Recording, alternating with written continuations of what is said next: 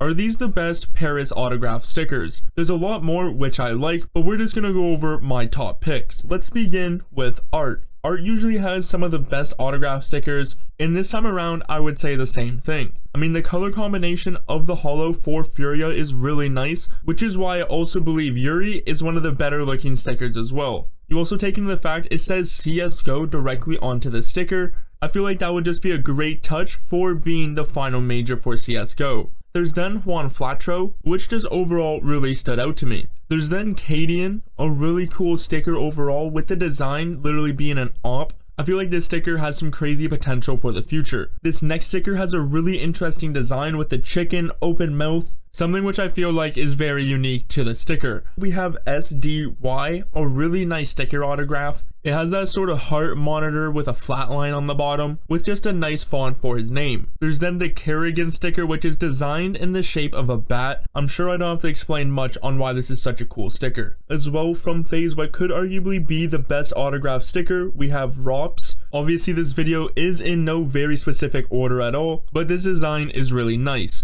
It is already the most expensive autograph out of all of them, so it's pretty clear it's not only myself who thinks it is one of the best stickers. Now this next sticker may not be seen as one of the best looking stickers. If you don't understand, right here on the Z at the end of NertZ' name, well that is the Z from Dragon Ball Z. I'm assuming for copyright reasons they couldn't have the sticker actually filled in, so instead what they did was just use the outline which is very uncommon for signatures overall. As well, the sticker is orange, one of the main colors for Dragon Ball Z. Obviously, that's a little bit niche, but it'll be interesting to see what happens when that gets a little bit more known. Now, the exact opposite of what we just talked about, instead of a sticker having outlines, this one actually has the A's in the name filled in. It's a very interesting design and looks really cool because it sort of emphasizes the holo effect, which is sort of the exact opposite of what we just talked about. If you didn't like that one because it was just the outlines and didn't really show the holo, we can't talk about the best Paris stickers without going over Dexter,